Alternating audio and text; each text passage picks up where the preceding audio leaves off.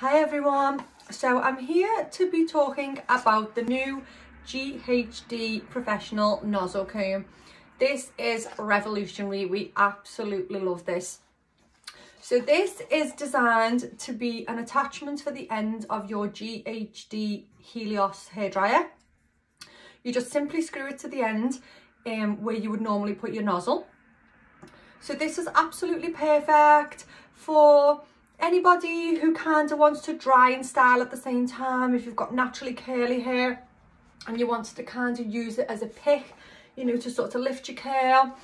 If you've got maybe like a nice fringe area and you like to sort of get a little bit of lift and a little bit of volume, or even for people who just like to wear it smooth and they'd like to just kind of just do this with the hair dryer and just work through it. It's really lightweight and it's so clever. You can do so much with it. This is definitely the perfect little attachment to help you style a lot more quickly, a lot more efficiently and without having to use lots of different tools. Hope you love this as much as we do at the salon. See you soon.